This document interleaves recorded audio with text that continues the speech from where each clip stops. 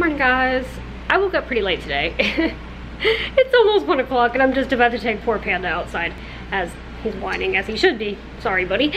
Um, but anyway, I don't even know why because I went to bed at like 11 last night. But um, I'm gonna go back, I'm gonna put the vlog back to last night because, or yesterday evening. We got um, something that I've been wanting for a while. I ordered it while I was back in Arkansas. So I'm gonna show you guys it um, and then I'll show you the process of it. Uh, so I ordered this um, like cat house, but actually what it's supposed to be is a covered cat box. So it has a door and uh, you can put a cat litter box in there and then kind of like hide it. Um, so that's, the litter box isn't gonna be here till Monday, but I ordered that, but I also had to build it. So I kind of, I vlogged that a little bit last night. So I'm gonna go ahead and play those clips. Um, and you guys can watch that while I take Panda out. So anyway, yeah, it was it was fun, but it was very frustrating. So here's that.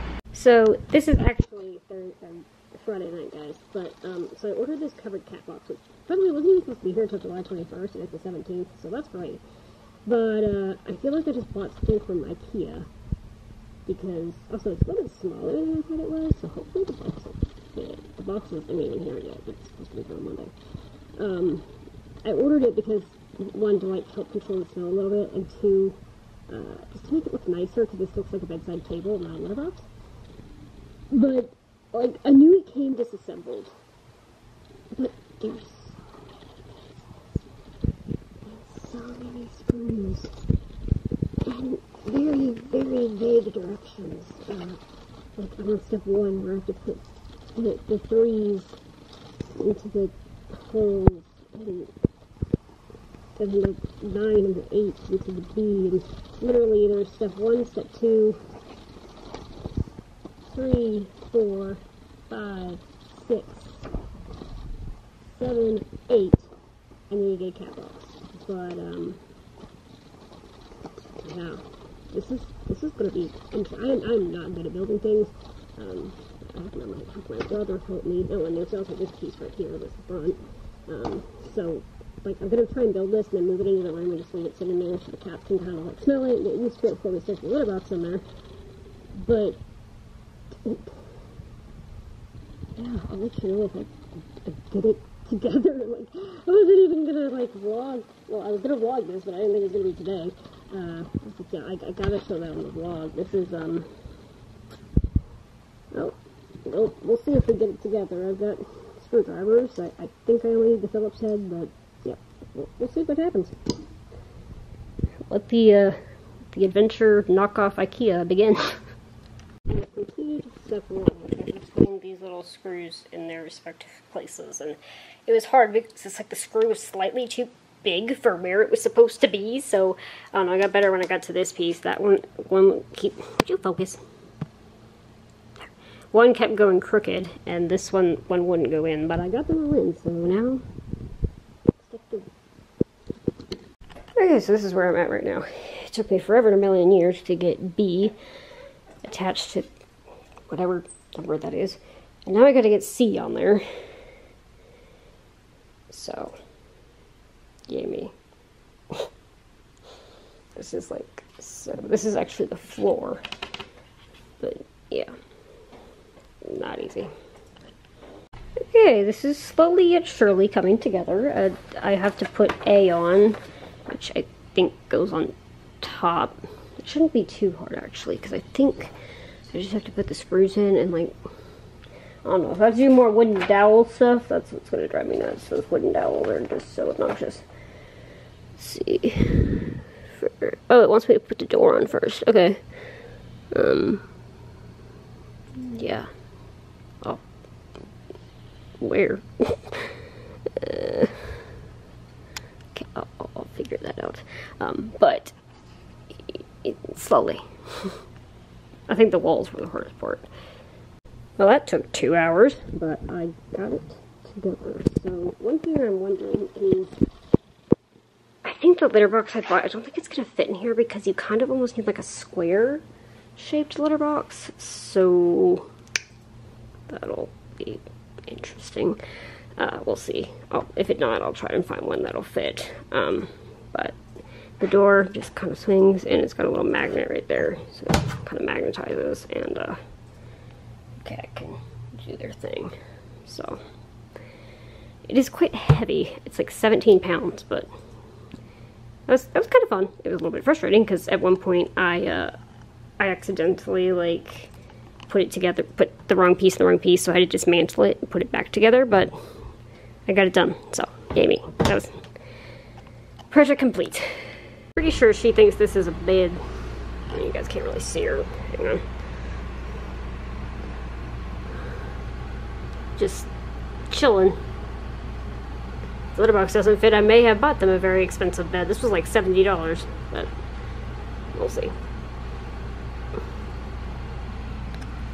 Hi guys, so I'm just sitting here having a afternoon cup of coffee. I didn't even get up till like 12, so um, yeah, just having that, listening to some music, and you know it's been way too hot. This, this summer's been atrocious in Florida, but you know it's been way too hot when you look at it and you're like, hey, it's only, feels like 103 outside. Only. I mean, we've been having heat indexes like 108 to 115 every single day, which is like why I sit in here really bored most of the time because uh, I can't even like go walk around the lake or anything until like 8 o'clock at night because, well, I took Panda for a little walk this morning.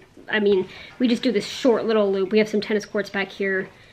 Uh, I don't think it's even a quarter of a mile, like literally this really tiny loop, maybe a quarter mile at the most. Um, so I do that because like it's not hot enough to, you know, we can do that. But um, yeah, I can't like go walk around the lake or go for a run or I don't even want to use the gym right now because there's people in there and it's really small and close space.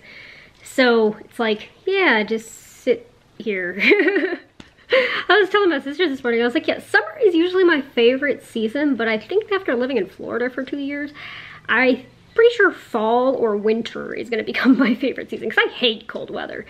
But I also hate heat indexes in the hundreds, so it was just kind of funny. It was just like, yeah, it's only 103, it's great. So let me know in the comments, what, what kind of weather do you guys prefer? Like, do you like cold weather? Do you like hot weather? Do you, yeah. I mean, I love living in Florida because I love warm weather and I love our winters here. Like, it can be 70 degrees on Christmas Day. But, um, yeah. Right now in July, not quite so much. Check out these clouds beautiful. We had our usually every day afternoon thunderstorm come in earlier today. It's about 3 o'clock, 3.30ish. Um, usually it doesn't come in, it hasn't been coming until like 6. Oh wow, look at these clouds.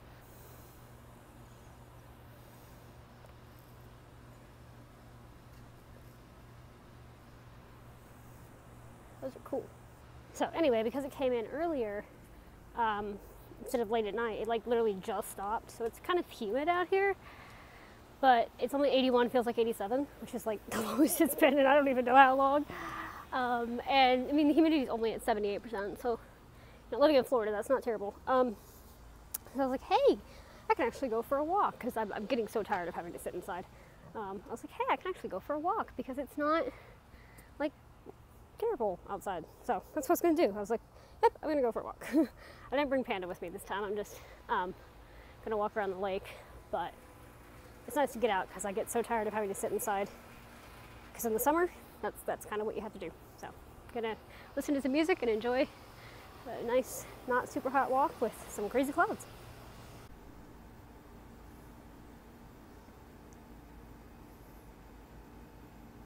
Sorry, I know I am filming this so much, but this, these clouds are just amazing. I mean, that's just so. That's like the outer band of the storm. And that's just. Oh, that's just amazing. There's just something so. I don't know what it is. There's just something so awe inspiring about that. And over here, you got the blue sky coming through. Um,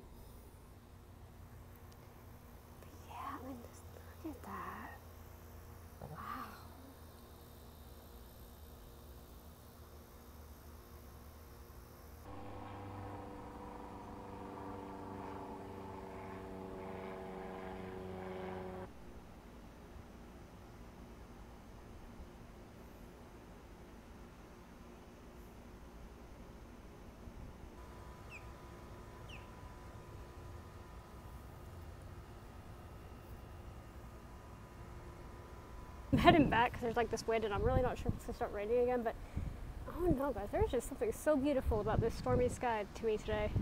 The sun's coming up over there. It's just beautiful. I don't know why, it just is.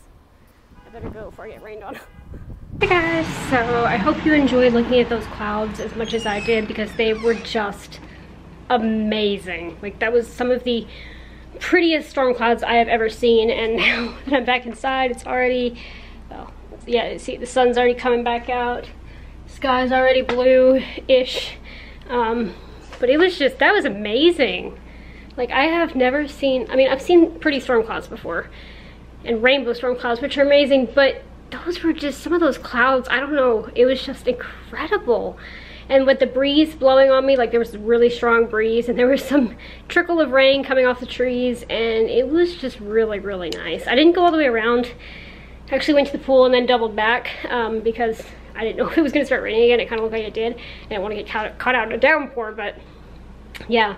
And it kind of made me think about too like not only was it just in front of me these beautiful storm clouds but we're all in a storm right now. We're all dealing with stuff right now. And there can still be beauty in the storm is kind of what it was a reminder of. Like something that is so dark and so um, potentially destructive and so like covering up the sun can also be so beautiful and so awe-inspiring. Like I can't tell you how much I was staring at those clouds and I actually read this list somebody wrote this morning of like a hundred good things that have come out of 2020 and I can't list them all, but um, it was like everything that is so dark and so destructive and so um, like dimming is also can be so beautiful and so um, like if it was just a blue sky I wouldn't have photographed it. I wouldn't have paid much attention to it.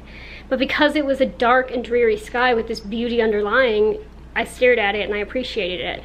And I think that can be a good analogy for what this year has been. So Anyway, I'm gonna go ahead and wrap up the vlog here. I'm gonna go ahead and upload it because I have quite a bit of footage plus the cat stuff last night. So with that, thank you guys so much for coming along on my day today and I'll see you guys tomorrow. Good night.